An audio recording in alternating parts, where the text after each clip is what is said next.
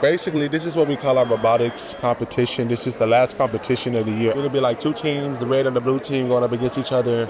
And it's just basically to show off your robot, what it can do.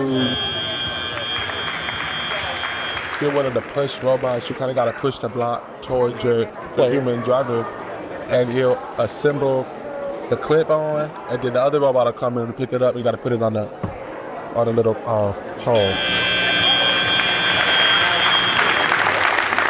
You see like green machines or about and open source robots. You're like, oh wow, it's really the top dog, and we're like rookies, you know.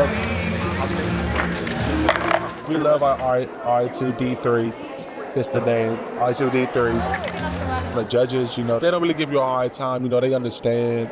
You know, even though we was on the opposite side last round, you know, and it didn't count, you know, we still found a way to put in that work and get the W.